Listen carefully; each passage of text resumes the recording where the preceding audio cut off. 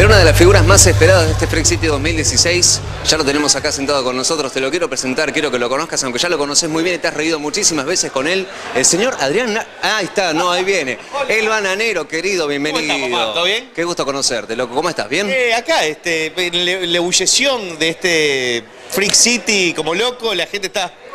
Me saluda la gente, estoy, estoy muy contento de estar acá, visitando por primera vez Mar del Plata. Y, y bueno, esperando, estoy a minutos de presentarme, así que estoy bastante. En aquel momento en el que no se usaba tanto las redes sociales, no se usaba tanto YouTube y toda la cosa, vos ya estabas subiendo esos videos raros como Muñeca System y tantos otros más.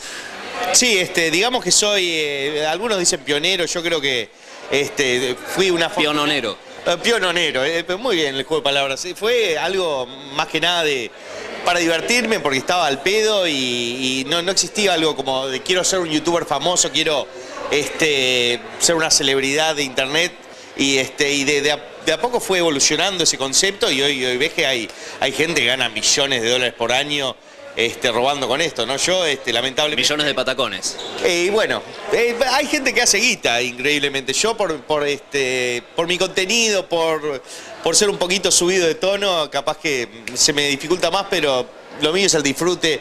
No sé, es, más la experiencia y no tanto la guita. ¿De dónde sacas las ideas? Tipo, te estás bañando, te estás duchando, vas a buscar el diario con el perro paseando por ahí, se te ocurren esas ideas, ¡pum! El Esto es un diario, video. diario lo te- tengo uno en casa para matar arañas. No leo el diario, no leo eh, noticias. No me gustan las noticias porque me pegan para abajo. Pero es como la ducha, ¿viste? Así, se me ocurre algo y, y, este, me, lo, me lo grabo, lo anoto.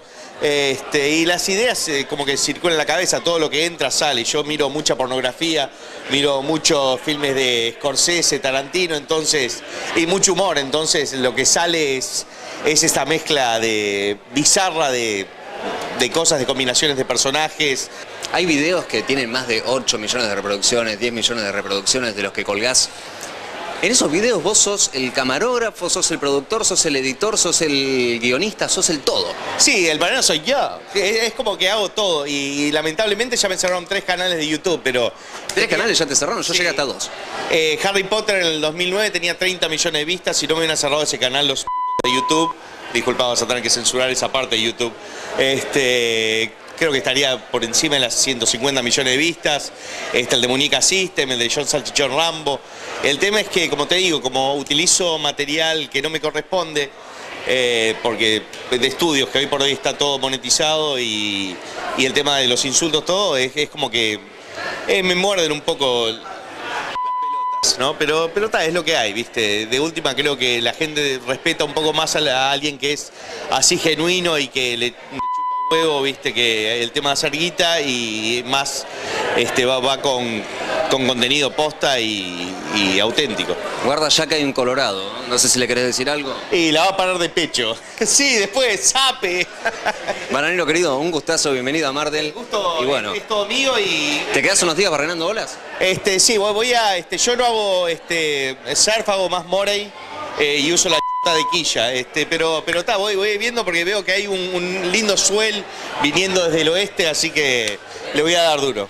Un gustazo. ¿eh? Gustazo papá y saludos a, a toda la gente de Mar del Plata. El bananero estuvo con nosotros en Mar del Plata y por supuesto te lo mostramos en D10. ¡Sape!